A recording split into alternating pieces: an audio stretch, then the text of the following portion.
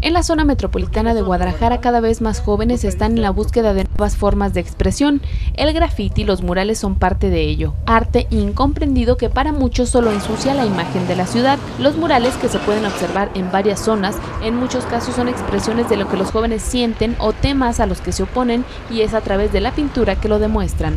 Puedes expresar a la gente pues varias cosas. O sea, yo, yo saco mis diseños y si quiero decir algo, algo que no me parece o, algo que me gustaría que, la gente viera, pues ya yo lo, yo lo dibujo. Los muralistas urbanos consideran que faltan espacios destinados a desarrollar sus pinturas. Y sí hacen falta muchos porque pues la mayoría de gente piensa que es un rayadero, pero ya cuando ven las obras así, pues incluso la gente que pasa el transcurso del, del, trabajo, pues dicen, ay, qué, qué feo, rayadero o algo.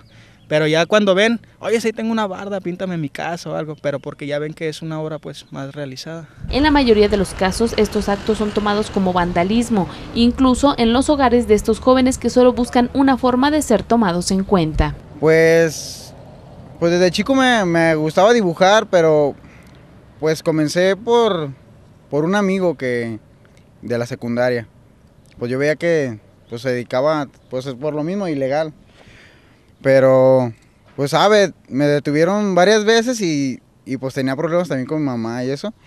Ya pues decidí mejor hacer algo que no saliera del graffiti, pues, pero pues ya no tener problemas. Los jóvenes que pintan murales son distintos a los grafiteros que solo pintan rayas y a los cuales nombran ilegales esperan que el gobierno realice actividades enfocadas a continuar desarrollando su creatividad. Por cierto que el próximo 30 de noviembre concluye un concurso que lleva a cabo una empresa privada en donde se impulsa el arte urbano.